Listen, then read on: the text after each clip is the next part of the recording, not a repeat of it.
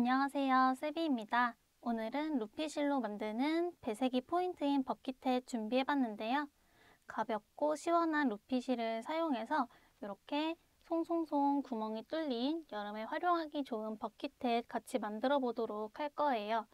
단마다 무늬가 계속 계속 바뀌어서 지루함 없이 뜨실 수 있고 이렇게 배색을 어떻게 하냐에 따라서 포인트가 될 수 있는 bucket hat입니다.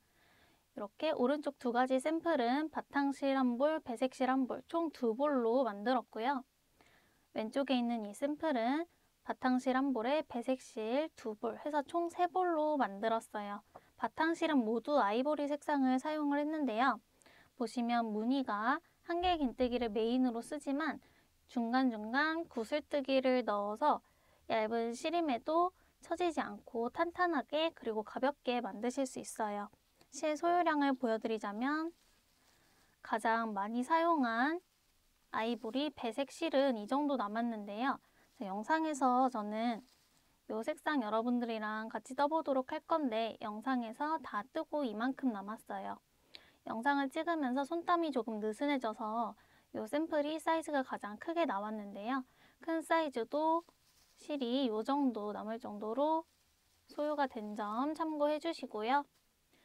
샘플은 전부 다 머리 둘레 57에서 58cm 정도로 나왔고 혹시나 조금 더 작게 만드시고 싶으신 분들은 손땀을 쫀쫀하게 해주시면 좋을 것 같아요. 이 모자 같은 경우에는 코스로 조절이 불가능하기 때문에 손땀으로 조절해 주시거나 바늘 사이즈로 조절해 주시는 것을 추천드립니다.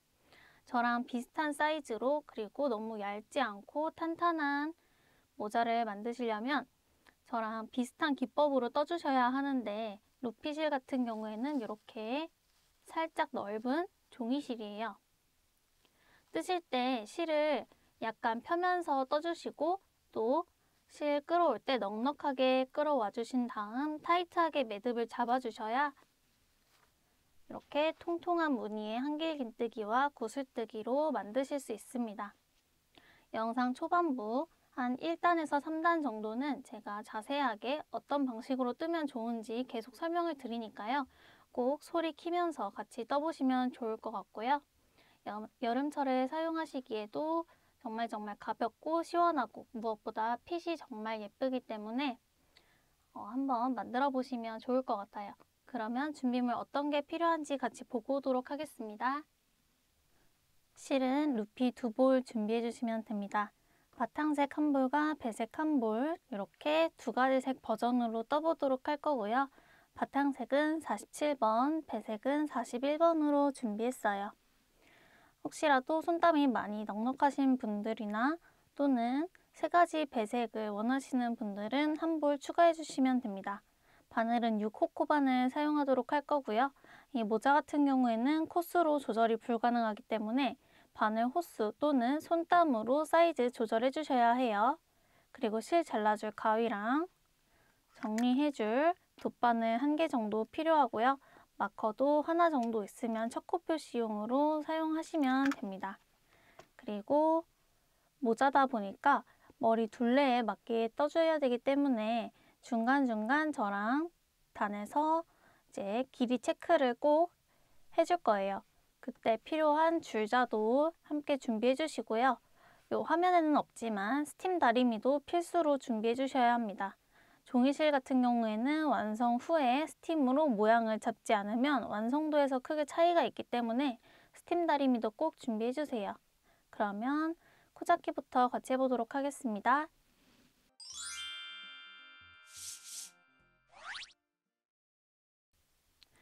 자, 시작하기 전에 실한볼 추가해서 세 가지 색상으로 뜨시는 분들은 이 샘플 참고해서 떠주시거나 자유롭게 배색을 해주셔도 되는데요. 저는 영상에서는 이렇게 두 가지 색상으로 떠볼 거지만 세 가지 색으로 하시는 분들은 이 노란 갈색을 추가했다는 가정하에 저는 여기 3단과 이렇게 중간중간 동글동글 짧은뜨기와 사슬 들어가는 부분에만 사용을 해줬어요. 그리고 아이보리 색상은 똑같이 떠주는 위치 다 동일하게 떠줬습니다. 이렇게 오른쪽 샘플에 이 베이지 색상 들어가는 부분에서만 변형을 준 거예요. 아이보리 색상은 소요량이 동일하고 그리고 배색이 들어가는 부분만 달라지기 때문에 이 샘플 참고해 주시거나 여러분이 자유롭게 배색을 해주시면 좋을 것 같습니다. 그리고 손땀이 많이 크신 분들은 이 아이보리 실이 부족할 수도 있을 텐데요. 그런 경우에는 아이보리 들어가는 위치에 새로운 배색 색깔을 추가해서 떠주시는 것도 좋은 방법일 것 같아요. 그럼 본격적으로 떠보도록 할게요. 겉에 있는 두 개의 이렇게 끈을 풀어주시고요. 안쪽에서 실을 한 가닥 잡아 오시면 돼요. 자, 이렇게 사용해 주시면 되고 혹시라도 풀릴까 봐 걱정되시는 분들은 어, 비닐팩 같은 데 넣어서 사용하시면 됩니다. 바탕실의 경우는 한 볼을 거의 다 사용하고요. 배색실 같은 경우에는 약간 남으니까 이 점 참고해 주세요. 자, 손에 걸어 주시고요. 매직링으로 시작해 주도록 할게요. 한번 꼬아주시고 6호 코반을 가져와 주시면 됩니다.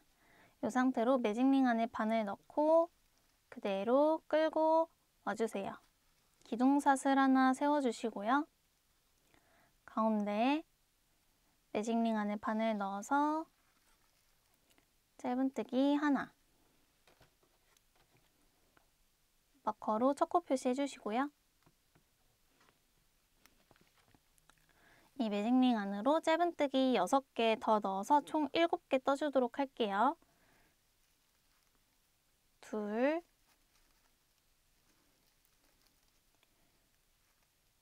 셋, 넷. 뜨실 때 너무 쫀쫀하게 뜨면은 이 종이가 전부 다 접어지면서 저랑 손땀이 맞지 않게 돼요. 저는 뜰 때 이렇게 어느 정도 종이가 펴지도록 손으로 잘 잡아주면서 뜨고요. 너무 세게 뜨지 않게끔 실을 넉넉하게 끌어온 다음에 매듭을 살짝 타이트하게 해줍니다. 자, 이런 식으로 해주시면 저랑 손땀 비슷하게 뜨실 수 있고 종이가 펴지면서 너무 얇지 않고 적당히 통통한 편물이 나오게 돼요. 지금 하나, 둘, 셋, 넷, 다섯 개 떴으니까요. 여섯 개, 일곱 개까지 떠줬고요. 꼬리실 살살 잡아당겨서 매직링을 조여줍니다. 이렇게 조여진 상태로 마커 제거해 주시고 마커 있던 자리에 그대로 바늘 넣어서 빼뜨기 해주면 되는데요. 자, 2단에서는 바탕 색깔로 떠줄 거기 때문에 바탕실을 가져와 줍니다. 자, 여기서 단마다 실을 교체해 가면서 뜨는데요. 만약에 빼뜨기 하면서 실을 바꾸지 않고 그냥 잘라서 실을 다시 연결해서 쓰게 되면 실이 모자랄 수 있어요. 그렇기 때문에 빼뜨기로 실을 이렇게 교체해 주면서 뜨는 것을 추천을 드립니다. 자, 2단 가보도록 할 건데요. 빼뜨기 하면서 실 색상이 바뀌었으니까 2단에서는 이 아이보리 색상으로 떠주는 거예요. 자, 2단에서는 이제 한개 긴뜨기가 나오는데요. 한개 긴뜨기 뜨실 때 저랑 같은 방법으로 뜨셔야지 안 그러면 손땀 차이도 나게 되고 편물 자체도 좀 납작하고 한개 긴뜨기가 얇게 나오게 되면은 모자가 힘이 없어져요. 그렇기 때문에 저랑 뜨는 방법을 똑같이 해주셔야 합니다. 기둥사슬 두 개 올려주시고요. 2단에서는 한길긴뜨기를 구슬뜨기로 떠줄 건데 구슬뜨기 뜰 때 이 기둥사슬 두 개는 한길긴뜨기를 하나 대체해주는 거예요. 이 상태로 바늘에 실 감아서 같은 자리, 우리가 빼뜨기 해줬던 자리에 그대로 바늘 넣어주세요. 이렇게 꼬리실은 감아서 떠주도록 할게요. 끌고 올 때 넉넉하게 끌고 와주시고요. 감아서 두 가닥만 통과. 그리고 한 번 더 바늘에 실 감고 같은 자리 들어가서 끌고 넉넉하게 끌고 나와야 해요. 그 상태로 두 가닥만 통과하는데 저는 뜨면서 이렇게 자연스럽게 실이 펴지는 모습이 보이죠? 여러분들도 이렇게 떠주셔야지 한길긴뜨기가 이렇게 통통하게 나옵니다. 자, 기둥사슬 두 개랑 반, 반쪽짜리 한길긴뜨기 두 개 이렇게 있어서 지금 세 코가 되었는데요.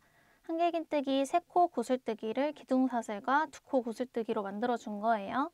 감아서 한 번에 세 가닥 통과해 주시면 됩니다. 그리고 머리 코에 마커로 첫 코 표시해 주시고요. 사슬 하나, 두 개까지 해주시면 돼요. 자, 요렇게가 한 세트인데요. 저희가 처음에는 기둥사슬로 시작을 했기 때문에 완벽한 세트로 시작을 한 게 아니에요. 자, 완벽한 세트로 두 번째 코부터 마지막 코까지 해보도록 하겠습니다. 바늘에 실 감고 바로 옆에 코로 넘어가 주세요. 자, 옆에 코에 바늘 넣어서 마찬가지로 한길긴뜨기, 구슬뜨기 떠주실 거예요. 끌고 나와서 넉넉하게 빼준 다음 감아서 두 가닥만 통과해 주시고요. 한 코 구슬뜨기 한 거고요. 바늘을 다시 실감고 같은 자리에 바늘 넣어서 넉넉하게 끌고 나온 다음 두 가닥 통과, 두 코 구슬뜨기, 바늘을 다시 한번 실감고 같은 자리에 넣어서 넉넉하게 끌고 온 다음 두 가닥만 통과해서 하나, 둘, 세 개의 반쪽짜리 한길긴뜨기가 있고요. 넉넉하게 실을 끌고 오고 손으로 이렇게 어느 정도 자연스럽게 펴지면서 뜨기 때문에 한길긴뜨기가 통통하게 나온 거 보이실 거예요. 이렇게 길쭉하고 통통하게 나와야지 저랑 비슷한 사이즈의 모자를 만드실 수 있습니다. 바늘에 실 감아서 바늘에 걸린 네 가닥을 전부 다 통과해 주시는데요. 여기서는 살짝 타이트하게 해주셔야 모양이 무너지지 않고 여기 편물은 통통한데 쫀쫀하게 뜨실 수 있어요. 그리고 사슬 두 개까지가 한 세트입니다. 자, 지금 하나, 둘, 셋, 넷, 다섯 코 남았는데요. 방금 한 세트를 다섯 번 더 반복해 주시면 되는 거예요. 옆에 코에 바늘 넣어서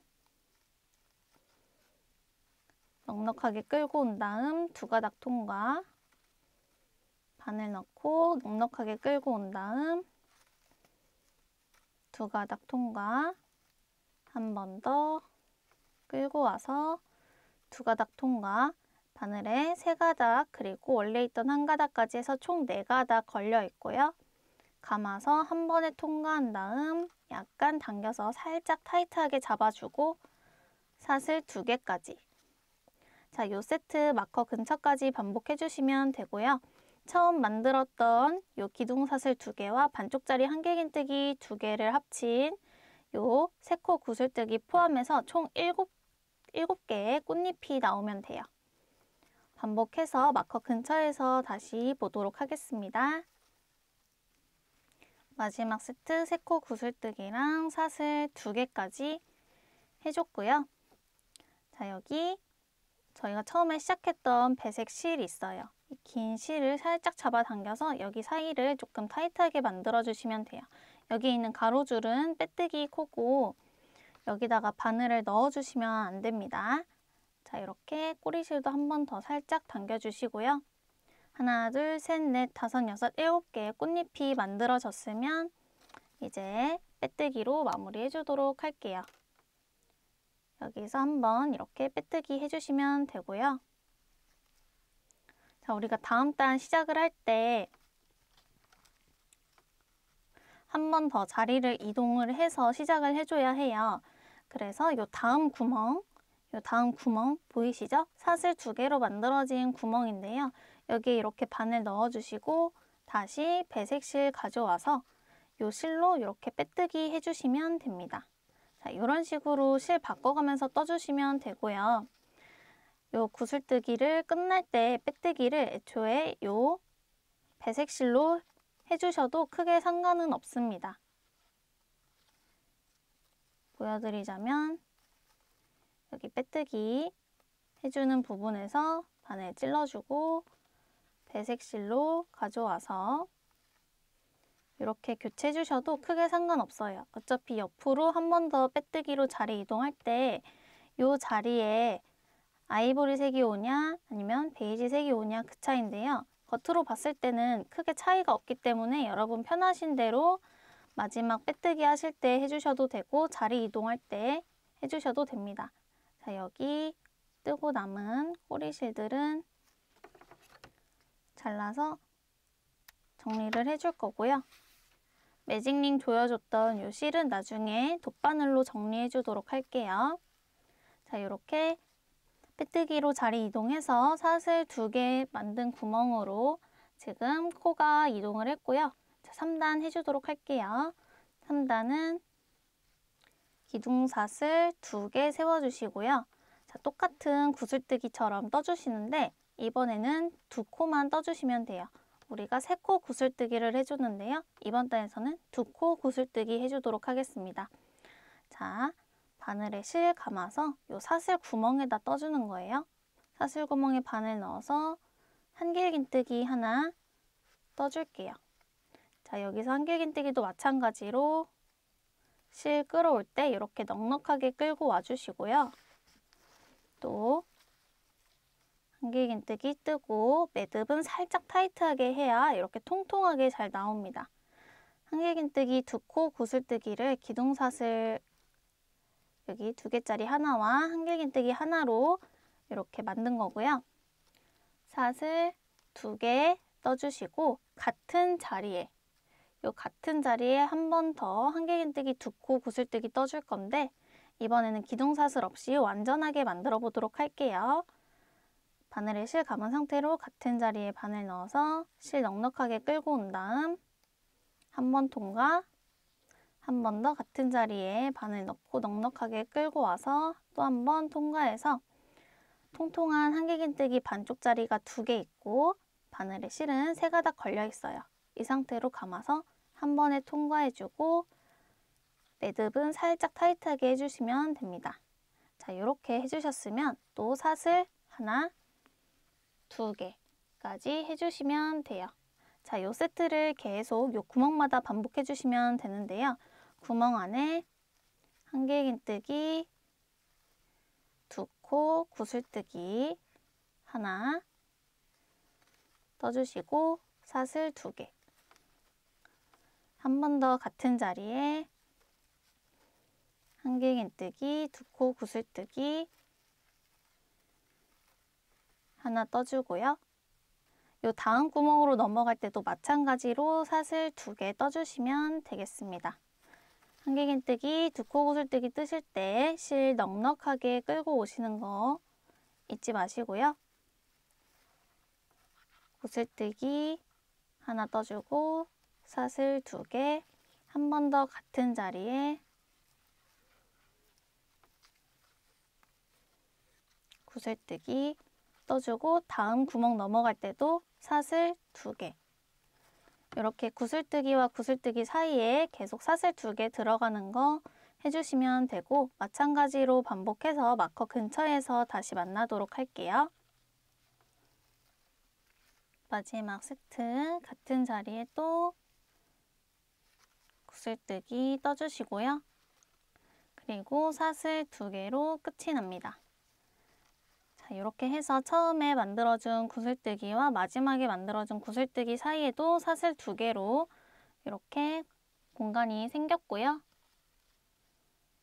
마커 표시해준 첫코 자리에 바늘 넣어서 빼뜨기로 마무리해 주셔도 되는데 어, 해주셔야 하는데 이때 또 요 베이지색 또는 아이보리색으로 해주시면 돼요. 아이보리색으로 이렇게 색깔 바꿔서 저는 빼뜨기로 색상을 교체해줬고요. 3단 떴을 때 약간 이런 모양이 나와요. 보시면 많이 이렇게 좀 오목한 모양이 되는데요.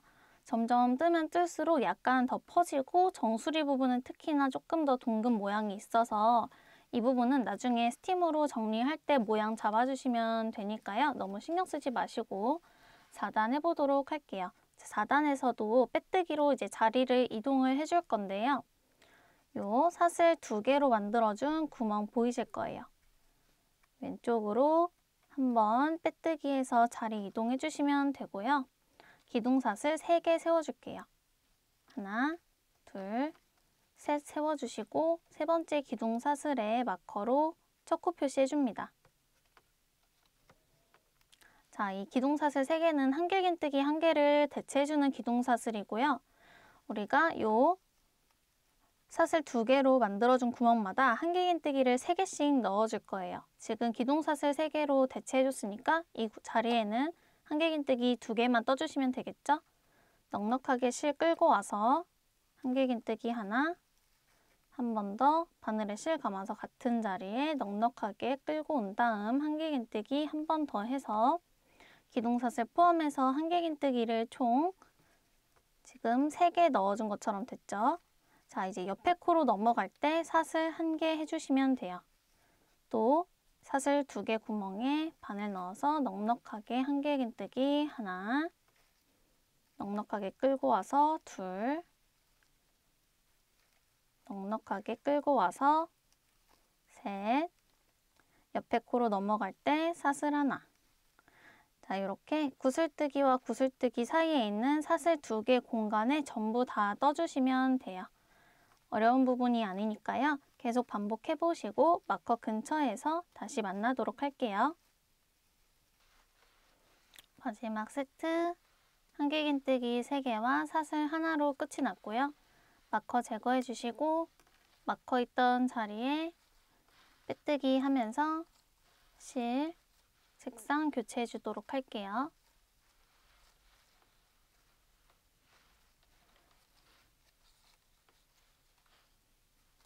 자, 이렇게 실 색상 교체해 주시고 한 번 더 옆에 코 그러니까 가장 가운데 있는 한길긴뜨기가 되겠죠?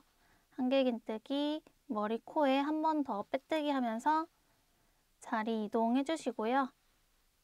이렇게 5단도 바로 이어서 해보도록 할게요. 자, 5단에서는 또 마찬가지로 구슬뜨기를 사용해서 떠주도록 할 건데요. 기둥사슬, 두 개 세워주시고 세코 구슬뜨기가 한 문이기 때문에 첫 코에서는 이렇게 기둥사슬 두 개 해주고 두 코 구슬뜨기만 해주도록 할게요. 바늘에 실 감고 그대로 같은 자리, 두 번째 한길긴뜨기가 되겠죠? 두 번째 한길긴뜨기에 바늘 넣어서 실 넉넉하게 끌어온 다음 두 가닥 통과 한 번 더 넉넉하게 끌어온 다음 두 가닥 통과 자, 이렇게 해서 기둥사슬 두 개와 반쪽짜리 한길긴뜨기 두 개로 세코 구슬뜨기처럼 만들어줬고요. 감아서 한 번에 통과해 주시고 첫 코 자리에 마커 걸어서 첫 코 표시 해주도록 할게요. 자 이제 옆에 세트로 넘어가 주도록 하겠습니다. 바늘에 실 감아주시고요. 마찬가지로 이번 단에서는 전부 다 이 두 번째 한길긴뜨기 머리 코에다가 바늘 이렇게 넣어서 떠주시면 돼요. 끌고 와서 넉넉하게 끌고 온 다음 두 가닥 통과, 두 가닥 통과, 두 가닥 통과해서 세 코 구슬뜨기 하나 떠주시고요. 자, 우리가 이렇게 세 코 구슬뜨기를 이 한 자리에 한 번 더 넣어줄 건데요. 이렇게 한 번 더 넣기 전에 사슬을 4개 떠주시면 돼요. 하나, 둘, 셋, 넷. 네 개 떠주신 다음에 다시 한번 같은 자리에 바늘 넣어서 세 코 구슬뜨기 떠줄게요. 한 자리에 여러 코가 들어가다 보니까 약간 타이트해질 수도 있는데요. 이렇게 실 계속 넉넉하게 끌어와서 통통한 한길 긴뜨기, 세 코 구슬뜨기 떠주시고 매듭은 살짝 타이트하게 당겨주시면 됩니다. 이러면 이렇게 하나, 두 개, 세코 구슬뜨기 있고 이 사이에는 사슬 네 개가 있어요. 이제 또 옆에 코로 넘어가 주시면 되겠죠? 옆에 코는 요 가운데 있는 한길긴뜨기 머리 코가 되는 거예요. 이 바로 옆에 코가 아니라요.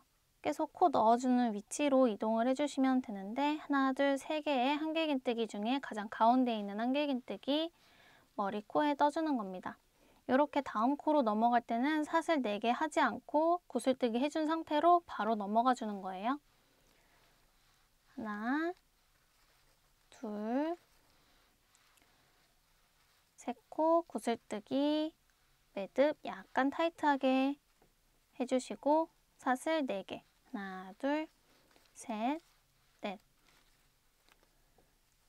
한 번 더 같은 자리에 하나, 둘,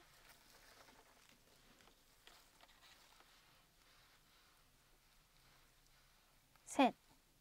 이렇게 반쪽짜리 통통한 한길긴뜨기 3개를 한 번에 통과해서 매듭은 약간 당겨서 타이트하게 해주시면 또 이렇게 무늬가 나오게 됩니다. 보시면 이렇게 볼록볼록한 잎사귀처럼 돼 있고 가운데 사슬 4개가 돼 있죠? 자, 이 세트를 여기 마커 근처까지 반복해 주시면 돼요. 여기서는 지금 무늬를 반쪽밖에 안 만들었기 때문에 마지막 코 해주시고 여기 반쪽 무늬 만들어준 다음 사슬 4개로 마무리 해주도록 할 거예요.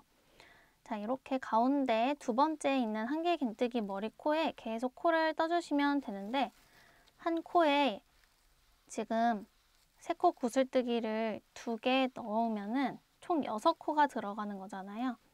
그래서 코가 좀 늘어날 수 있는데 이 부분은 그냥 자연스럽게 무늬처럼 전체적으로 봤을 때 그렇게 보이기 때문에 너무 신경 쓰지 마시고 다 떴을 때 자연스럽게 볼록한 모양이 되도록 사슬 4개까지 가운데 꼭 넣어주시면서 마커 근처까지 떠보도록 할게요.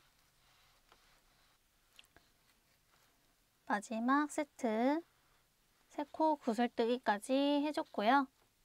저희가 처음에 떠줬던 이렇게 반쪽짜리 구슬뜨기 하나 있죠.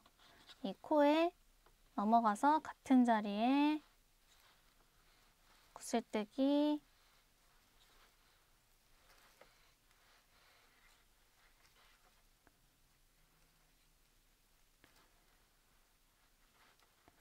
한 개 해주시고요.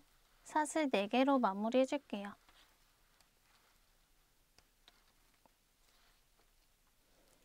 자, 이렇게 사슬 4개까지 해준 다음 마커 제거해 주시고 마커 있던 자리에 그냥 이 실로 빼뜨기 해주세요. 왜냐하면 저희가 여기 구멍까지 또 빼뜨기로 자리 이동을 할 건데요. 여기서 빼뜨기를 해주면 아이보리색이 좀 일찍 오기 때문에 여기서 보시면 이 다음 구슬뜨기 머리 코에 바늘 넣어서 아이보리색 실로 빼뜨기 한 번, 그리고 사슬 4개로 만든 구멍으로 한 번 더 빼뜨기해서 자리 이동을 해줍니다. 자, 이렇게 해서 5단이 끝이 났고 6단 바로 시작을 해보도록 할 건데요. 뜨실 때 꼭 편물이 겉에 방향이 있으면 이렇게 말리도록 손으로 잘 잡으면서 떠주셔야 해요. 반대쪽으로 뭐 이렇게 떠주시거나 하면은 마지막에 모양 잡기가 조금 어려울 수 있기 때문에 꼭 살짝 이렇게 손으로 만지면서 안쪽으로 동그랗게 말리도록 의도적으로 손으로 이렇게 해주시면 되고 여기 있는 지금 사슬 4개로 만들어준 구멍에 6단 바로 떠주도록 할게요. 기둥사슬 3개 세워주시고요. 마찬가지로 요 3개의 기둥사슬은 한길긴뜨기 한 코를 대체하는 사슬이고 요 이번 단 6단 세트는 4개의 사슬 구멍에 한길긴뜨기를 6개 떠주시는 거예요. 지금 기둥사슬 3개로 한 코 떠줬기 때문에 같은 자리에 한길긴뜨기 5개 떠주면 되겠죠? 마찬가지로 실 약간 펴면서 넉넉하게 끌어온 다음 한길긴뜨기 하나 둘 셋, 넷, 다섯 이렇게 다섯 개 한길긴뜨기를 떠줬고 기둥사슬 포함해서 하나, 둘, 셋, 넷, 다섯, 여섯 코가 들어갔죠? 자 이렇게 한 세트 해주셨으면 옆에 세트로 그냥 바로 넘어가시면 돼요. 또 한길긴뜨기 여섯 개 떠주시면 됩니다. 실 넉넉하게 잘 펴면서 끌어와 주시고 한길긴뜨기 하나 꼭 이렇게 넉넉하게 실을 끌어올 때는 매듭을 타이트하게 해주시지 않으면 모자 전체적으로 힘이 없어지기 때문에 처음에 말씀드렸던 것처럼 마지막 단 뜰 때까지 꼭 이렇게 넉넉하게 끌어오셨으면 매듭은 살짝 타이트하게 잡아주셔야 shape이 예쁘게 잡혀요. 지금 한길긴뜨기 두 개 했고요. 셋, 넷, 다섯, 여섯 이렇게 4개의 구멍, 네, 사슬 4개 구멍에 한길긴뜨기 6개 오도록 모든 세트 쭉 떠주시면 되고요. 마찬가지로 어려운 부분이 아니기 때문에 각자 떠보시고 마커 근처에서 다시 만나도록 할게요. 마지막 세트 한길긴뜨기 6개까지 떠준 모습이고요. 이렇게 안쪽으로 조금 더 부드럽게 말리는 느낌으로 완성이 되실 거예요. 첫코 자리에 바늘 넣어주시고 빼뜨기 해주시면 되는데 색상 교체하면서 빼뜨기 해주도록 할게요. 당겨준 상태로 옆에 코로 한 번 더 바늘 넣어서 빼뜨기로 자리 이동해 주시고요. 자, 이제 7단 바로 해보도록 할 건데요. 기둥사슬 하나 올려주시고 같은 자리 빼뜨기로 자리 이동해 준 하나, 둘, 두 번째 코예요. 하나, 둘, 두 번째 코에 짧은뜨기 해주시면 됩니다. 마커로 첫 코 표시해 주시고요. 그리고 사슬 두 개 떠줄게요. 사슬 두 개 떠줬으니까 하나, 둘. 여기도 하나, 두 코 건너서 다섯 번째 코 보시면 다섯 번째 코에 이대로 바늘 넣어주시고 짧은뜨기 하나 해주시면 되는데요. 어떤 모양이 나오냐면 자 우리가 한길긴뜨기 여기는 첫 코니까 기둥사슬 3개랑 한길긴뜨기 5개지만 그냥 한길긴뜨기 6개라고 쳤을 때 양 옆에 하나, 둘, 하나, 둘, 두 번째 머리 코에 짧은뜨기가 하나씩 있는 거고요. 이 사이에는 사슬 두 개 있고 마찬가지로 한길긴뜨기 두 코도 건너뛰어준 상태예요. 이렇게 떠주시면 되고 이 옆에 코로 넘어갈 때는 사슬 3개 떠줄게요. 하나, 둘, 셋. 사슬 3개 떠준 다음에 처음 세트와 마찬가지로 같은 자리에 바늘 넣어주시면 돼요. 하나, 둘, 두 번째 한길긴뜨기에 짧은뜨기 하나, 이번엔 사슬 두 개, 하나, 둘 떠주고 하나, 두 코 그대로 건너뛰어준 다음 왼쪽에서 하나, 둘, 두 번째 한길긴뜨기 머리 코에 짧은뜨기 떠주시면 됩니다. 자, 이렇게 가운데를 기준으로 두 코 비어 있고 왼쪽에서 하나, 두 번째 코, 오른쪽에서 하나, 두 번째 코에 짧은뜨기 떠준 다음 이 사이에는 사슬 두 개 있는 거고요. 이 세트와 세트를 건너뛸 때는 사슬 세 개를 떠주시면 되는 거예요. 지금도 다음 세트로 넘어가는 거니까 사슬 세 개가 되겠죠? 마찬가지로 또 하나, 두 번째 코에 짧은뜨기 그리고 사슬 두 개 마찬가지로 하나, 둘, 두 번째 머리 코에 짧은뜨기 이런 식으로 세트 쭉 마커까지 반복해 주시면 되고요. 마커 근처에서 다시 만나도록 할게요. 자, 이렇게 사슬 3개로 세트가 끝이 나고요. 마커 제거해 주시고 마커 있던 자리에 바늘 넣어 주신 다음 바탕실 가져와서 빼뜨기 해주도록 할게요.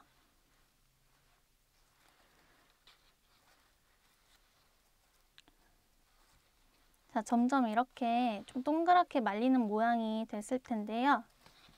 지금 저희가 종이실 특성상 모양이 완전히 고르게 나오기가 힘들어요. 어느 부분은 이렇게 조금 더 경사가 져 있을 수도 있는데 저희가 지금 7단까지 떴을 때 이런 모양이 됐고요. 8단 다 뜨면은 이제 뚜껑 부분이 끝이 나고 8단 다 뜬 다음에 몸통으로 넘어가기 전에 여기 부분 한번 스팀을 해줄 거기 때문에 그때 모양을 잡아주시면 됩니다. 자, 이렇게 빼뜨기 색상 교체하면서 해줬고요. 요 사슬 하나, 두 개로 만든 구멍이 있을 거예요. 이 구멍으로 빼뜨기로 자리 이동 시켜주시면 되고 8단 바로 해보도록 할게요. 기둥사슬 3개 해주신 다음 세 번째 기둥 사슬에 첫 코 표시해 주시고요. 자, 여기도 마찬가지로 우리가 4단에서 했던 것처럼 한길긴뜨기 3개와 사슬 하나를 반복해 주시면 돼요. 지금 기둥사슬 3개로 한 코를 대체해 줬으니까요. 이 구멍에는 한길긴뜨기 2개만 해줄게요. 하나, 같은 자리 한 번 더, 둘 해서 세 코를 만들어줬고 옆에 코로 넘어가면서 사슬 하나 지금 구멍이 사슬 두 개, 사슬 세 개가 번갈아서 나오는데요. 전부 다 똑같이 한길긴뜨기 세개 떠주시면 돼요. 사슬 하나 해준 다음 옆에 구멍에 한길긴뜨기 세 개,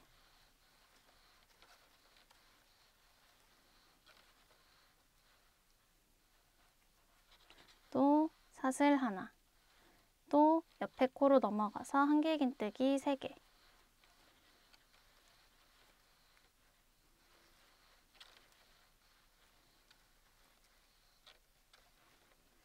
또 사슬 하나 쭉 한길긴뜨기 3개와 사슬 1개 반복하시면서 마커까지 떠주시면 됩니다.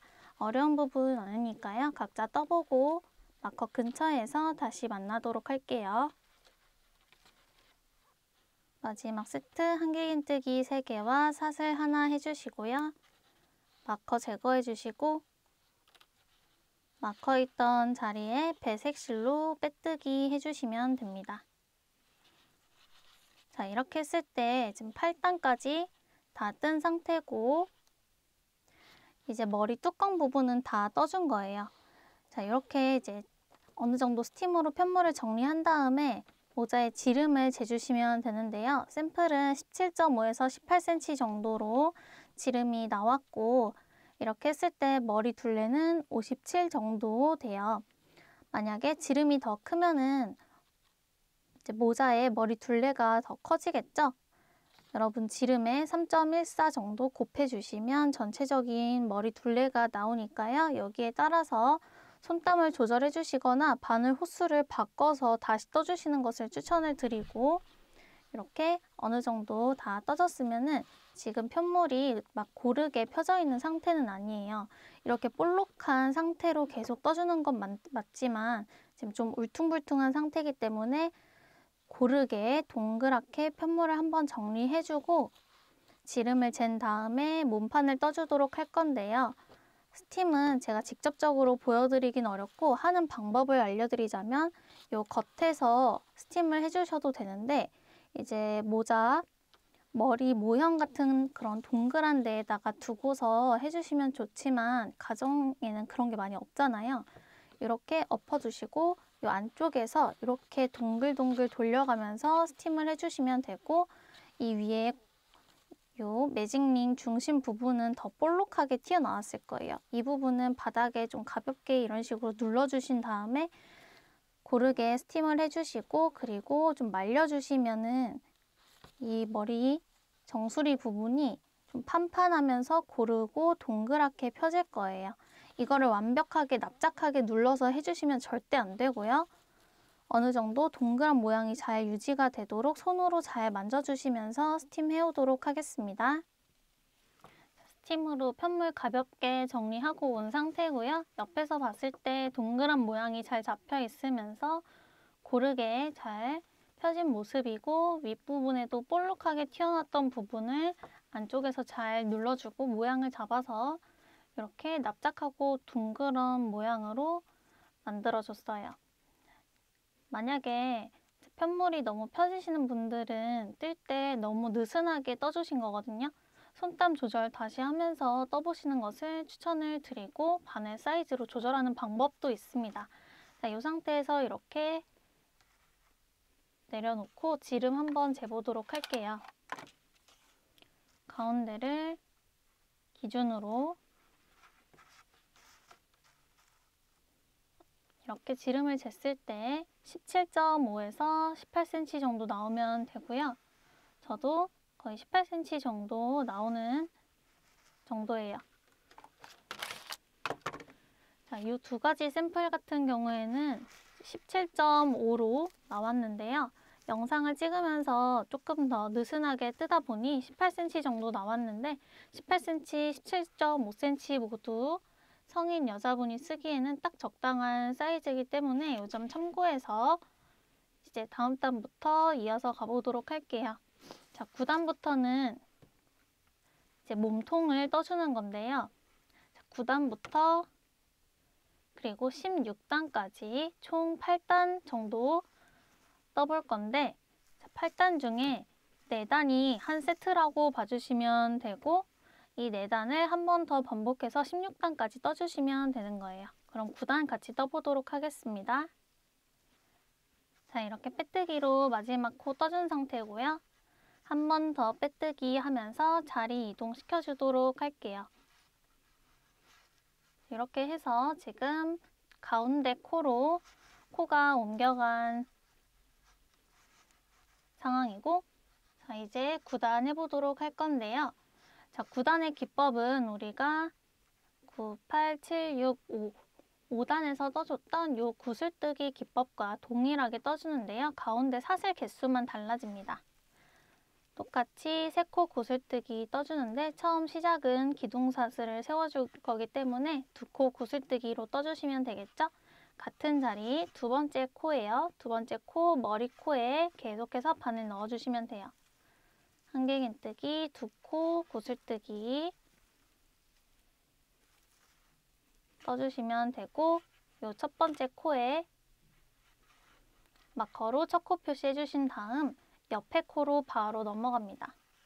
자 여기서도 이렇게 코 떠주고 옆에 코로 넘어갈 때는 사슬 없이 바로 넘어가 줬어요. 옆에 코에 보시면 하나, 둘, 세 개의 한개 긴뜨기 중 가장 가운데 코에 계속 떠주는 거라고 말씀을 드렸죠. 바늘 넣어준 다음 한 개 긴뜨기, 세 코 구슬뜨기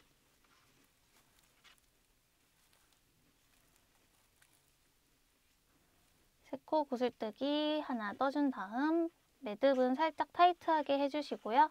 그리고 5단에서는 가운데 사슬 4개 떠줬다면 9단에서는 가운데에 사슬 2개만 떠주시면 돼요.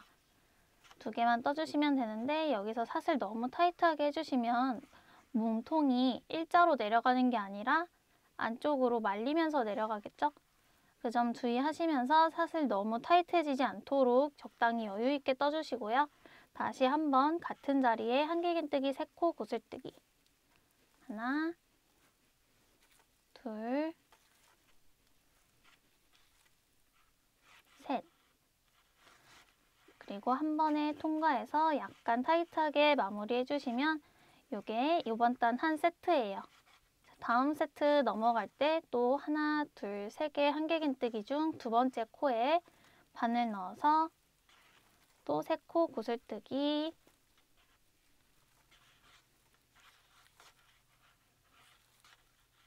하나 떠주시고 사슬 타이트해지지, 타이트해지지 않게 두 개 떠주신 다음 같은 자리에 또 한길긴뜨기 세 개 세코 구슬뜨기죠. 한길긴뜨기, 세코 구슬뜨기 하나 떠주시면 됩니다. 이렇게 두 개 세트 해봤는데요.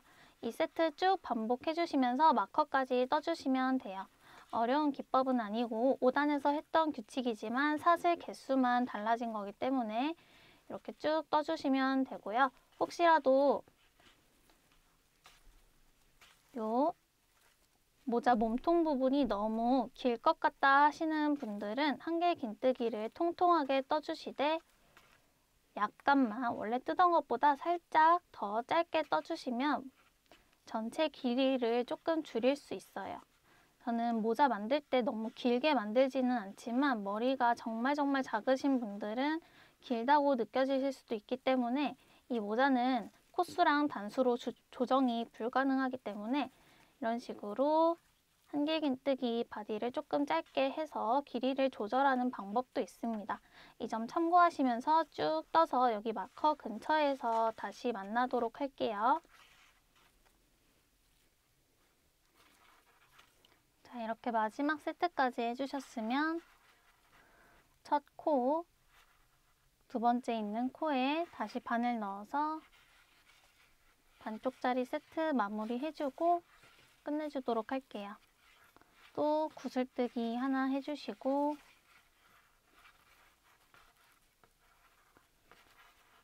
그리고 사슬 두 개로 단 마무리 해주시면 됩니다.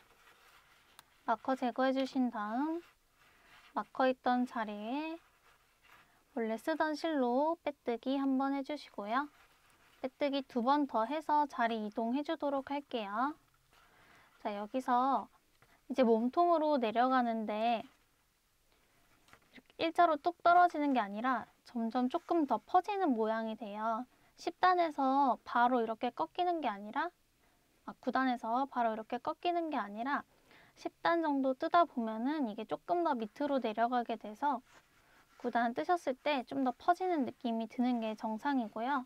그렇다고 이걸 의도적으로 펴시면 안 되고 안쪽으로 약간 손으로 이렇게 만져주시면서 떠주시는 게 나중에 모양 잡기에 훨씬 편합니다.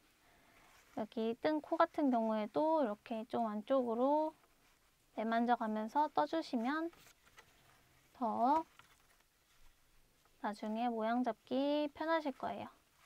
자, 어느 정도 해주셨으면 바로 옆에 있는 세코 구슬뜨기 머리 코에 바늘 찔러주시고 바탕실 가져오셔서 바탕실로 빼뜨기 한 번 그리고 사슬 두 개로 만든 구멍에 바늘 찔러서 한 번 더 빼뜨기 해서 자리 이동시켜 주신 다음 10단 바로 해보도록 할게요. 10단에서는 기둥사슬 3개 올려주시고 이 3개의 기둥사슬은 한길 긴뜨기 한 개를 대체를 해주는 건데요. 보시면 우리 이렇게 사슬 4개로 만든 구멍에 한길 긴뜨기 6개 만들어줬던 세트 있어요. 이 세트를 한 번 더 해준다고 생각해 주시면 되는데 여기서도 사슬 4개를 여기선 사슬 2개로 떠줬기 때문에 한길 긴뜨기 개수도 줄어들게 되겠죠? 여기서는 한길 긴뜨기 6개를 떠줬다면 이번 10단에서는 한길 긴뜨기 5개 떠주도록 할 거예요. 기둥사슬 3개로 한길 긴뜨기 1개를 대체해줬으니까 첫 번째 세트에는 4개만 떠주시면 됩니다. 하나 둘 셋, 넷. 이렇게 해서 기둥사슬 3개까지 포함해서 총 5코 만들어줬고요. 사슬 2개 구멍에 한길 긴뜨기 총 5개씩 떠주시면 되겠습니다. 바로 옆에 코로 이동해서 한길 긴뜨기 5개 둘 셋, 넷, 다섯 개 떠주시고요. 모든 코 전부 다 한길긴뜨기 다섯 개씩 쭉 떠서 마커 근처까지 떠주시면 되겠습니다. 자, 이렇게 해서 모든 사슬 구멍에 한길긴뜨기 다섯 개씩 넣어주고 왔고요. 자, 이번 단 떴을 때도 이렇게 퍼지는 모양이 나오는데요.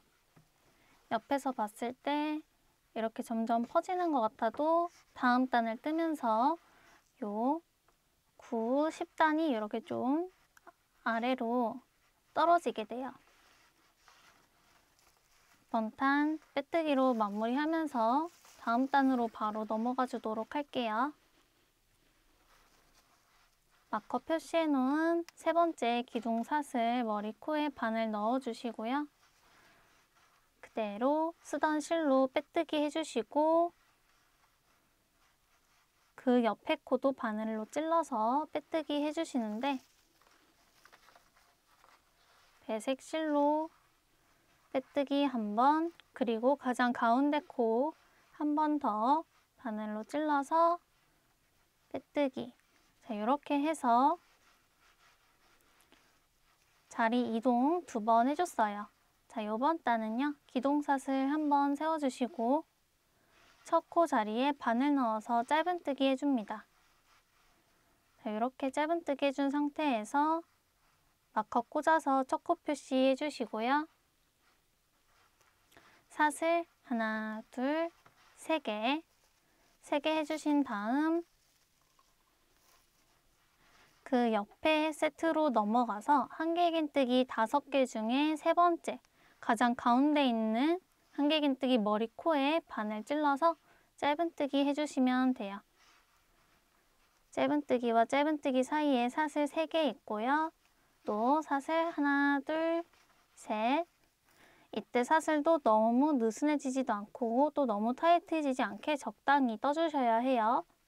그 다음 세트로 넘어가서 한길긴뜨기 하나, 둘, 세 번째 가장 가운데 있는 한길긴뜨기 머리 코에 바늘 넣어서 짧은뜨기 해주시면 이렇게 퍼져 있던 이 부채꼴 모양이 조금 모아지는 게 보이실 거예요. 이렇게 되면서 9단, 10단이 아래로 좀 꺾이게 됩니다. 사슬 3개, 가운데 코에 짧은뜨기 하나 이 세트 마커까지 쭉 반복해 주시면 되고요. 어렵지 않으니까요. 각자 해보고 다시 만나도록 할게요. 마지막 세트 짧은뜨기 한번 그리고 또 사슬 세 번 해주시면 되고요. 마커 제거해 주시고 마커 있던 자리에 바늘 넣고 바탕실 끌어와서 그대로 빼뜨기 해주시면 됩니다. 자, 요, 이렇게 떴을 때 안쪽으로 이렇게 편물이 좀 말려지면서 몸통이 이렇게 일직선으로 올라가는데요. 이 단만 떴을 때 이렇게 일직선으로 올라가진 않고 좀 편물이 이런 식으로 살짝 우글우글 할 거예요. 원래 이렇게 나오는 거고요. 다음 단 그리고 그 다음 세트 계속 뜨면서 조금 정돈이 될 수 있지만 결론적으로는 마지막에 스팀으로 꼭 모양을 잡아주셔야 합니다. 너무 거슬리시는 분들은 손으로 이렇게 살짝 조물조물 하면서 모양을 잡아가면서 떠주셔도 되는데 스팀으로 모양이 금방 잡히니까요. 다음 단 이어서 그냥 가보도록 할게요. 자, 우리가 사슬 3개로 만들어준 구멍으로 바늘 넣어서 한 번 더 빼뜨기해서 자리 이동해 주시면 되고요. 기둥사슬 3개 세워주도록 할게요. 그리고 마지막 기둥사슬에 마커 꽂아서 척코 표시해 주시고요. 자, 이렇게 사슬 3개로 만들어준 구멍에 한길긴뜨기 3개 넣어주시면 되는데 첫 코에는 지금 기둥사슬로 한길긴뜨기 1개를 대체했으니까요. 2개만 해주도록 할게요. 한길긴뜨기 하나, 둘 해서 기둥사슬 포함해서 3개의 코가 떠졌고요. 사슬 하나로 옆에 코로 넘어가 줍니다. 다시 바늘에 실 감고 한길긴뜨기 3개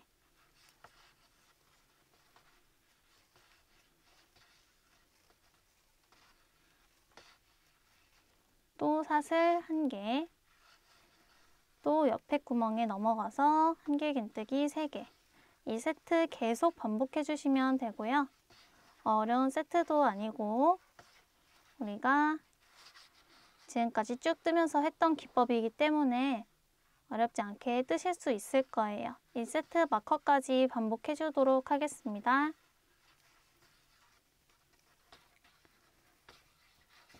마지막 세트 한길 긴뜨기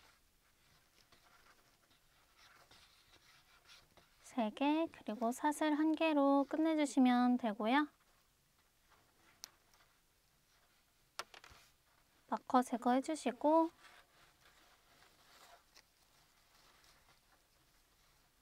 배색 실로 이렇게 빼뜨기해서 마무리해 주시면 됩니다. 이렇게 떴을 때 편물이 완전 고르게 나오지는 않는다고 말씀을 드렸죠. 여기서 이제 또 무늬 단을 들어가면서 이 마지막 단 떴던 부분이 조금 더 펴지게 돼요. 그러면서 또 자연스럽게 펴지는 부분이 있으니까 너무 걱정 안 하셔도 되고 혹시라도 중간중간 스팀하면서 뜨실 분들은요. 스팀 하실 때 겉에서 하시기보다는 안쪽에 이렇게 두고 밑에를 눌러가면서 이렇게 돌려가면서 해주시는 게 조금 더 모양을 잘 잡을 수 있는 방법입니다. 자, 저희가 지금 12단까지 해봤는데요. 12단까지 했을 때 이 베이직링부터 쭉 전체 길이를 재자면 저는 12.5에서 13cm 정도 나와요. 손땀을 체크할 수 있는 방법인데요. 매직링부터 해서 길이를 재자면 13cm 정도 나왔고요. 다른 두 가지 샘플은 전부 다 12.5cm 정도 나왔습니다. 아까 말씀드렸다시피 영상을 찍으면서 뜨기 때문에 손에 힘을 많이 주기가 어려워서 조금 더 느슨하게 떠진 점 참고해 주시고요. 자, 13단부터 16단까지 또 4단 떠볼 건데 저희가 방금 떴던 9단부터 12단을 한 번 더 똑같이 반복해 주시는 거예요. 자, 저희가 9단은 이렇게 구슬뜨기로 떠줬던 단이에요. 자, 이 단 보시면 전 단이 똑같이 한길긴뜨기 3개랑 사슬 하나였죠. 마찬가지로 같은 방법으로 시작해 주시면 돼요. 옆에 코에 바늘 넣고 빼뜨기로 자리 이동해 주신 다음 그리고 기둥사슬 2개 한길긴뜨기 두코 구슬뜨기 하나로 시작을 해주고요. 마커로 첫코 표시해준 다음 자, 똑같이 한길긴뜨기 3개 중 가운데 코, 머리 코에 바늘 찔러서 한길긴뜨기, 3코 구슬뜨기랑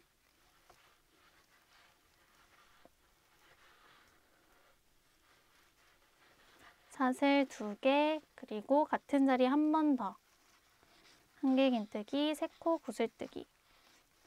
자, 이 세트 똑같이 반복해 주시면 되고요. 이 세트를 다 뜬 다음은 마찬가지로 여 사슬 두, 두 개 있는 요 구멍에 한길긴뜨기 다섯 개 떠주시고 그 다음 단은 다섯 개 중에 가운데에 있는 한길긴뜨기 머리코에 짧은뜨기와 사슬 세개 번갈아서 해주시면 되겠죠? 13단부터 16단까지는 9단과 10단, 11단, 12단의 반복이기 때문에 앞에 영상 보시면서 각자 해보시면 좋을 것 같고요. 자, 저처럼 이번 단 뜨기 전 12단까지 떴을 때 안쪽으로 좀 말린다 싶으신 분들은 이 다음 단, 지금 뜨고 있는 13단을 뜨면서 편물이 좀 펴지는 걸 확인하실 수 있을 거예요. 손땀 최대한 일정하게 유지해 주시면서 16단까지 전부 다 뜨고 다시 만나도록 할게요. 마지막 세트 한길긴뜨기 3개와 사슬 하나까지 해주고요. 마커 있던 자리에 바늘 넣고 배색 실로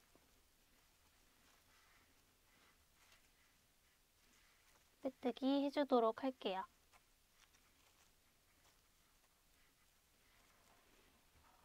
자, 이렇게 해서 몸통 16단까지 다온 상태고요. 9단부터 12단을 한 번 더 반복해서 13, 14, 15, 16단 떠줬어요. 자, 이렇게 떴을 때 모양이 반듯하게 내려오는 모양이 아니라 안쪽으로 이렇게 살짝 말릴 수도 있고 편물 자체가 이런 식으로 좀 우글우글 할 수 있는데요. 다음 단 챙 부분 뜨면서 이렇게 가운데 코에 이런 식으로 세코 구슬뜨기를 넣어주면서 이 편물이 펴지면서 안쪽으로 말린 게 이제 바깥쪽으로 펴지게 돼요. 하지만 이런 게 조금 걱정되시는 분들은 이렇게 엎어놓고 안쪽 면을 스팀 다리미로 잘 굴려가면서 눌러주시면 되고 저는 다 뜬 후에 한 번에 스팀 처리 해주도록 할게요. 아니면 다음 단 이제 챙부분 시작하는 17단 뜨고 나서 스팀을 해줘도 늦지 않습니다. 자, 17단 바로 해보도록 할게요. 17단도 마찬가지로 이런 식으로 구슬뜨기를 쭉 떠주는 단인데요. 이제 챙 부분은 바깥으로 약간 퍼지는 느낌이 나야 하기 때문에 이 중간중간 사슬 개수만 달라지고 뜨는 방법은 똑같습니다. 빼뜨기로 가운데 코로 자리 이동 한번 해주고요. 자, 이 상태에서 기둥사슬 두 개, 그리고 이 자리 그대로 두 코 구슬뜨기 해줄게요. 하나, 둘, 그리고 감아서 한 번에 통과해서 기둥사슬 두 개를 이용해서 구슬뜨기 만들어줬고요. 마커로 초코 표시해주세요. 자, 이제 옆에 코, 가운데 한길긴뜨기 머리 코로 이동을 해줘야 되겠죠? 코에 바늘 넣어서 또 세 코 구슬뜨기 이제 완전한 세트로 가줍니다. 둘,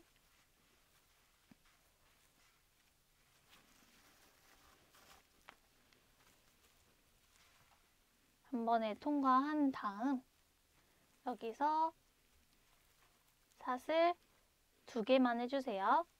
그리고 같은 자리에 세코 구슬뜨기 한 번 더.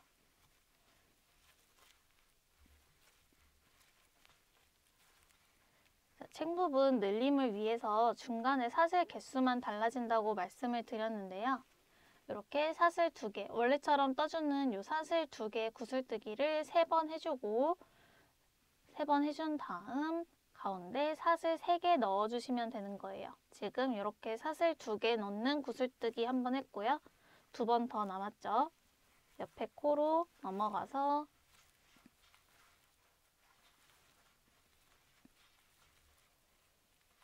세코 구슬뜨기 사슬 2개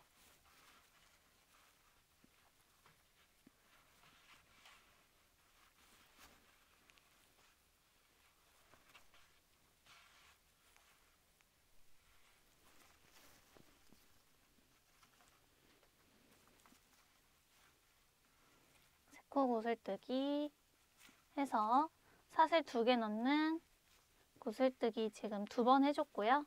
마지막 한 번 더 남았어요. 세 코 구슬뜨기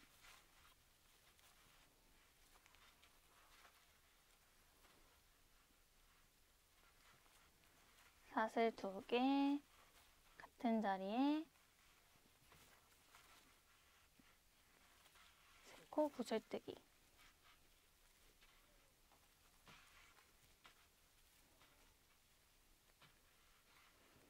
이렇게 해서 가운데 사슬 두 개가 들어가는 세코 구슬뜨기 총 세 번 해줬고요. 다음 코도 마찬가지로 그 옆에 코 가운데 한길긴뜨기 머리 코에 바늘 넣어서 세코 구슬뜨기 한번 해주시고요.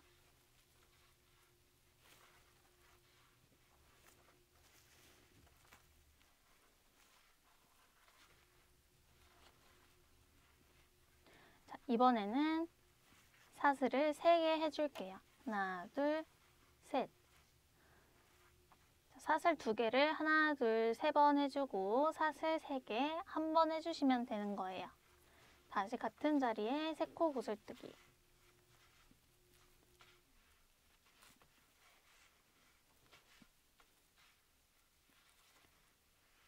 자, 이렇게 해서 한 세트가 완성이 됐습니다. 사슬 두 개, 두코 구슬뜨기 한 번, 두 번, 세 번, 그리고 사슬 세개 구슬뜨기 한 번.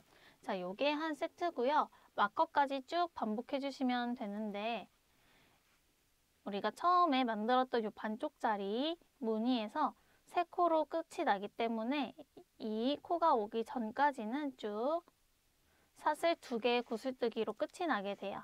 이 세트 마커까지 계속 반복해 주시면 되겠습니다. 어려운 부분 없이 규칙만 잘 이해해 주시면 되고요. 사슬 2개 구슬뜨기 3번과 사슬 3개 구슬뜨기 무늬 1번 쭉 반복해서 마커 근처에서 다시 만나도록 할게요.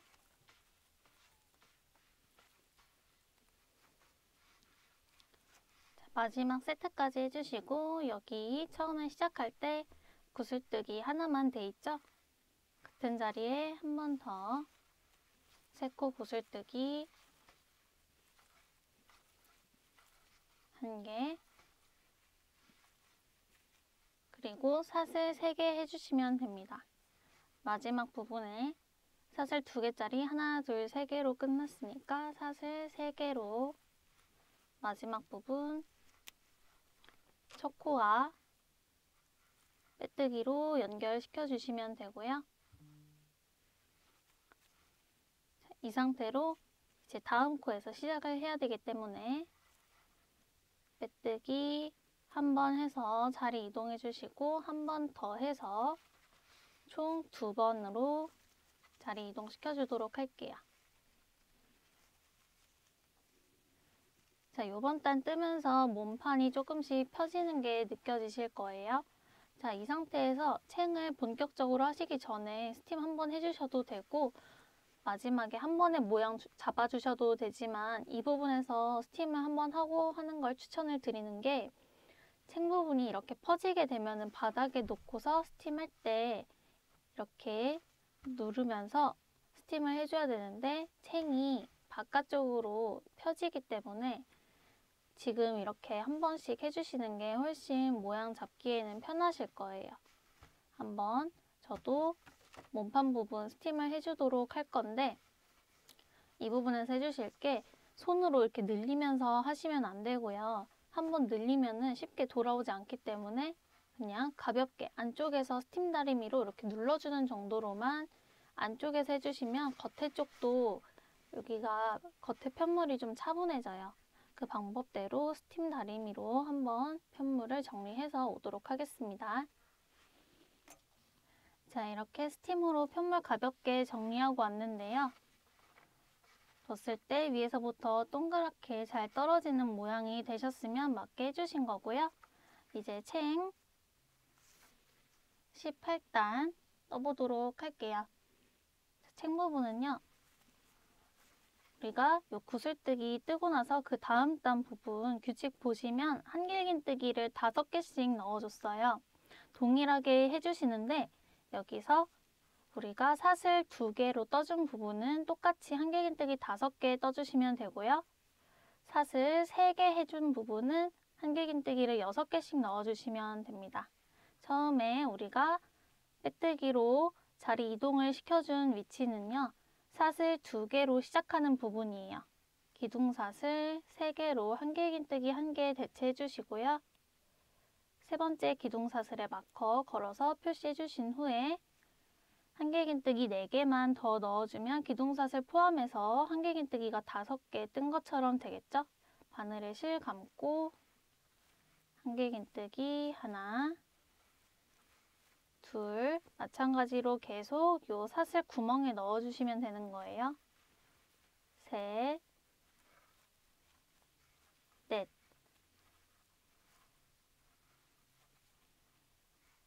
자, 이렇게 해서 처음 사슬 두개 구멍에 한길긴뜨기 4개와 기둥사슬 3개로 5개, 5개처럼 코를 떠줬고요. 이제 여기 사슬 3개 부분 전까지 하나, 두 개의 사슬 구멍에는 한길긴뜨기 5개 온전하게 넣어주시면 됩니다. 하나, 둘,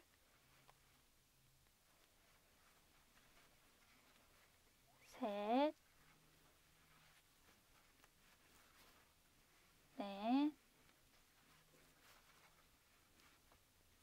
다섯, 다음 사슬 구멍으로 넘어가서 또 한길긴뜨기 다섯 개, 둘, 셋, 넷, 다섯. 자, 이렇게 해서 하나, 둘, 셋. 사슬 두 개 구멍, 총 세 무늬에는 다섯 코씩 넣어줬고요. 사슬 세 개 나오는 이 부분에서는 한길긴뜨기 여섯 개. 하나, 둘, 셋, 넷, 다섯, 여섯. 자, 이렇게 세트 계속 반복해 주시면 돼요. 처음에 시작할 때는 한길긴뜨기 한 개를 기둥사슬 세 개로 대체했기 때문에 완전한 세트가 아니었지만 지금은 완전한 세트로 넘어와서 한길긴뜨기 다섯 번을 세 번 떠주시고 그리고 한길긴뜨기 여섯 번 여섯 개짜리를 한 번 떠주시면 되겠습니다. 어려운 세트 아니니까요. 이 세트 쭉 반복해 보시고 마커 근처에서 만나도록 할게요. 한길긴뜨기 다섯 개짜리 세번 그리고 한길긴뜨기 여섯 개로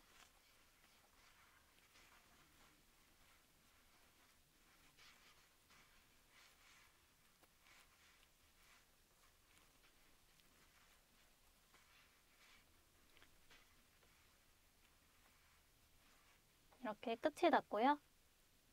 마커 있던 자리에 바늘 넣어서 마커는 제거해 주시고 빼뜨기로 마무리해 주시면 됩니다. 그리고 한 번 더 옆에 코로 이동해서 빼뜨기 한 번, 그리고 가장 가운데 코, 다섯 개 중에 가장 가운데 코에 바늘 넣어서 총 두 번의 빼뜨기로 자리를 이동시켜 줄게요. 자, 이렇게 해서 가장 가운데 코에 21단 시작하는 부분이 왔고요. 기둥사슬 하나 올려주시고 이렇게 짧은뜨기와 사슬로 번갈아 가면서 만들어 주도록 할게요. 첫 코자리에 바늘 넣어서 짧은뜨기 하나 해준 다음 마커로 첫 코 표시해 주시고요. 보시면 우리가 짧은뜨기 할 때 짧은뜨기 하나, 사슬 3개, 짧은뜨기 하나 이런 식으로 무늬를 만들어 줬는데요. 보시면 이렇게 안개긴뜨기 5개짜리가 하나, 둘, 세 개가 있고 6개짜리가 하나 있어요. 이 6개짜리 오기 전까지는 똑같은 방법으로 짧은뜨기 하나, 사슬 3개, 또 다섯 번째 중 가장 가운데 세 번째 코에 짧은뜨기 하나, 사슬 3개, 또 가장 가운데 코에 짧은뜨기 하나 자, 이렇게 해줬는데요. 자, 이제 다음 코 보시면 여섯 번, 여섯 개의 한길긴뜨기가 나오죠. 우리가 머리 뚜껑 부분 만들어 줬을 때 여섯 개 중에 왼쪽에서 두 번째 코 그리고 오른쪽에서 두 번째 코에 짧은뜨기를 넣어주고 이 사이에 한길긴뜨기 두 개가 있는데 이 자리는 사슬 두 개로 지나가줬어요. 똑같이 떠주시면 됩니다. 사슬 3개 떠주시고요. 그리고 오른쪽에서 하나, 둘, 두 번째 코, 머리 코에 바늘 넣어서 짧은뜨기 하나, 그리고 사슬 두 개, 하나, 두 코, 사슬 두 개로 건너줬으니까요. 왼쪽에서 하나, 둘, 두 번째 머리 코에 바늘 넣어서 짧은뜨기. 자, 요렇게가 한 세트예요. 또 사슬 3개, 첫 번째 머리 코 하나 둘 셋 하나 둘 셋 다섯 번째 다섯 개 있는 한길긴뜨기 가장 가운데 있는 세 번째 머리 코에 다시 짧은뜨기로 세트 시작해 주시면 됩니다. 또 사슬 3개 가운데 머리 코에 짧은뜨기 사슬 3개 가운데 머리 코에 짧은뜨기 또 사슬 3개 해주시고 자, 이번에는 6개 한길긴뜨기 나왔으니까 하나, 둘, 두 번째 머리 코에 짧은뜨기 그리고 사슬 3개가 아니라 두 개만 떠주시고 하나, 둘 건너서 왼쪽에서 두 번째 머리 코에 짧은뜨기 사슬 3개까지 자 이렇게가 완전한 한 세트예요. 보시면 다섯 개 있는 자리에는 똑같이 사슬 3개로 건너가지고 여섯 개 있는 자리만 두 번째, 두 번째 머리 코에 짧은뜨기 넣어주고 그 사이에는 사슬 두 개 들어갔습니다. 이 부분만 주의해서 떠주시면 되고요. 이 세트 쭉 반복해서 마커 근처까지 와보도록 할게요. 한길긴뜨기 6개짜리 코에 짧은뜨기 해준 다음 사슬 3개로 마무리 해주시면 되고요. 마커 제거해 주시고 마커 있던 자리에 빼뜨기로 마무리 해주시면 됩니다. 자, 이제 다음 단, 요 아이보리색 바탕실로 뜨는 마지막 단인데요. 왼쪽 사슬 구멍으로 빼뜨기 하면서 한번 자리 이동 시켜주도록 하고요. 자, 이제 사슬 구멍마다 한길긴뜨기를 4개씩 떠주는 단인데요. 자, 세트를 먼저 말씀을 드리자면 한길긴뜨기를 5개 떠주는 걸 한 번 해주시고 한길긴뜨기 4개를 떠주시는 걸 총 4번 해주시면 돼요. 이렇게 해서 처음에 기둥사슬 3개로 한길긴뜨기 1개를 대체해 준 다음 한길긴뜨기 5개로 시작하는 코니까 한길긴뜨기를 4개만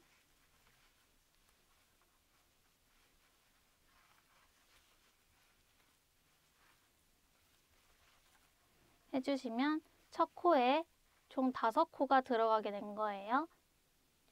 기둥사슬까지 포함해서 하나, 둘, 셋, 넷, 다섯 코 떠줬으면 이제 하나, 둘, 셋, 넷 여기 있는 네 개의 구멍에는 한길긴뜨기를 네 개씩 떠주시면 됩니다. 옆에 코로 옆에 사슬 구멍 넘어가서 한길긴뜨기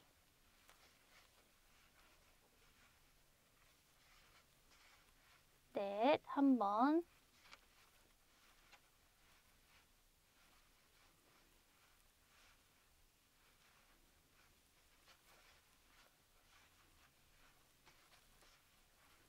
두 번,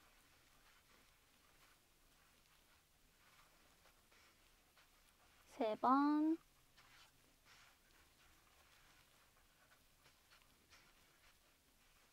마지막.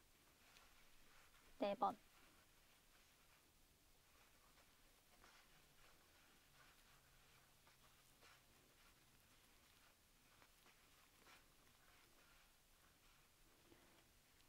자, 요렇게가 한 세트예요. 처음에는 기동사슬로 시작했기 때문에 완벽한 세트는 아니지만 한길긴뜨기를 이제 또 다섯 개부터 시작해서 다섯 개 한 번과 네 개를 총 네 번 이렇게 떠주시면 되겠습니다. 한길긴뜨기 다섯 번 하나 둘 셋, 넷, 다섯 떠주시면 이 한길긴뜨기 다섯 개가 들어가는 자리는요. 밑에 이렇게 보시면 여섯 개의 한길긴뜨기 들어간 부분 다음 그 다음에 사이가 됩니다. 여섯 개 들어간 부분 다음 다음 사이에 한길긴뜨기 다섯 개가 오도록 떠주시면 돼요. 다섯 개짜리 한 번 떠주셨으니까 이제 네 개짜리 네번 떠주시면 되겠죠. 하나,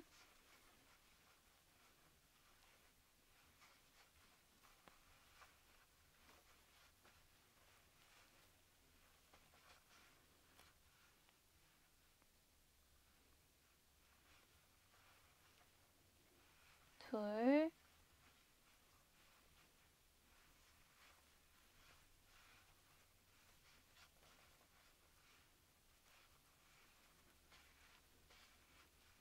셋,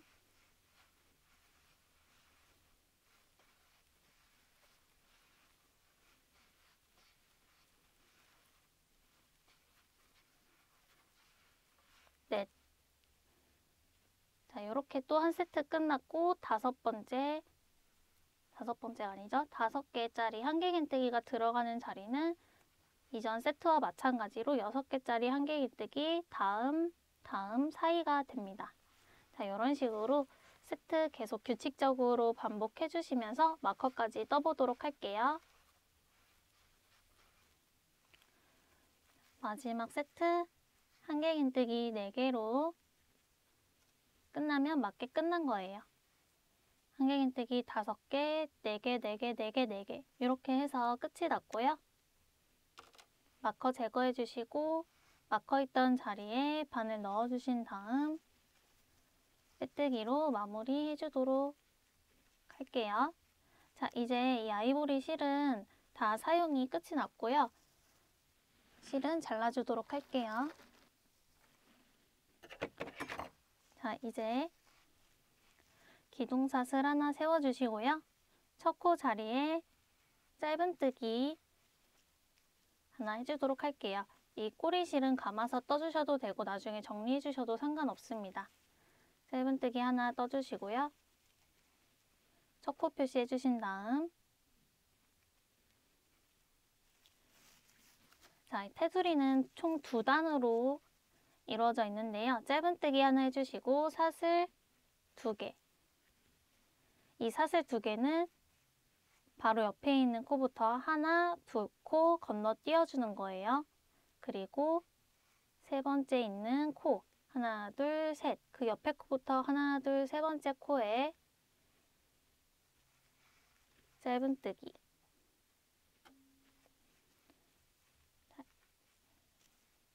짧은뜨기 해주셨으면 또 하나, 두 코 건너 띄워줄 건데 이거는 사슬 두 개로 건너 띄워주시고요.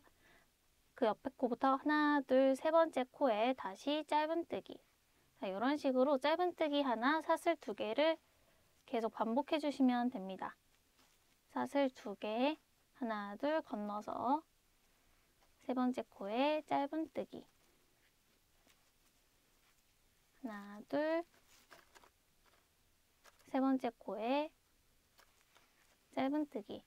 자, 이런 식으로 쭉 한 바퀴 떠주시면 되겠습니다. 이렇게 다 뜨고 마커 근처에서 다시 만나도록 할게요. 마지막 세트 짧은뜨기 그리고 사슬 두 개로 끝났고요. 마커 제거해 주시고 마커 있던 자리에 빼뜨기로 마무리 해 줍니다. 자, 이제 진짜 마지막 단인데요.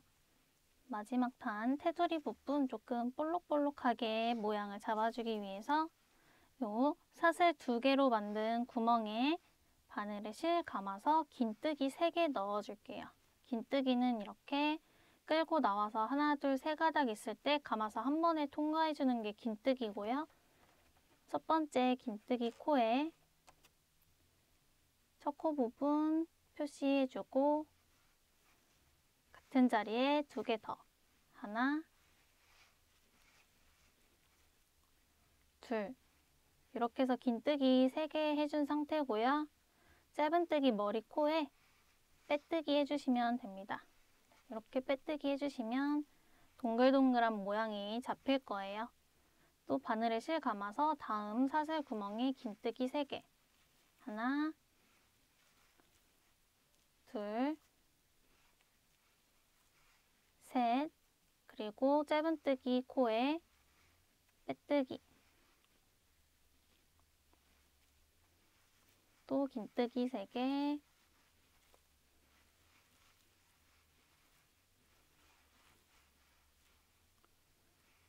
빼뜨기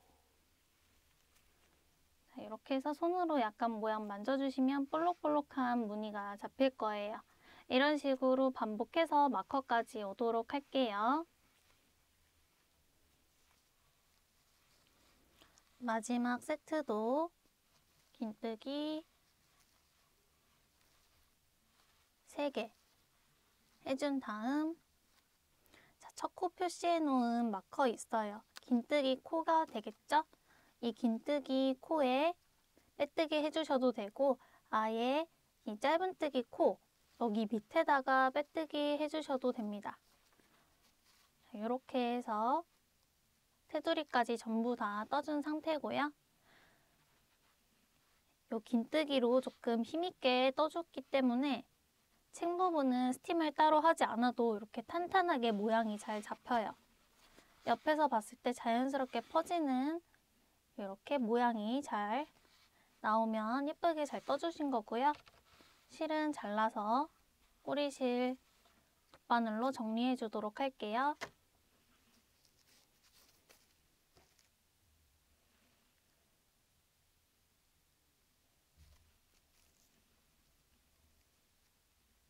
꼬리실은 코 모양대로 모양을 살려서 정리해 주시면 되고 안쪽에서 꼬리실 숨겨서 마무리해 주시면 됩니다. 코 사이사이로 통과하면서 숨겨주도록 할게요.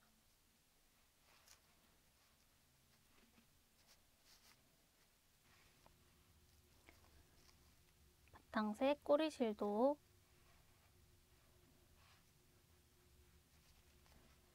안쪽에서 숨겨서 정리해 주시면 됩니다.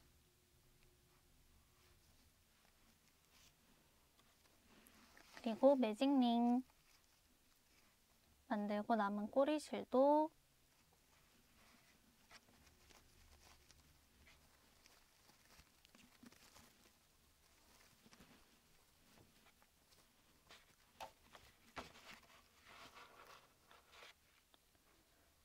코 사이사이 통과하면서 정리해 주도록 할게요.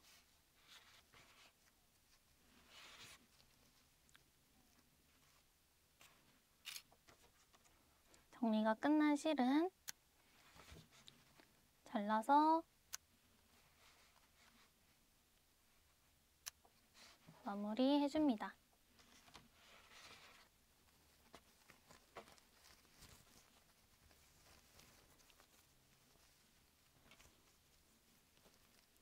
자, 이렇게 뒤집었을 때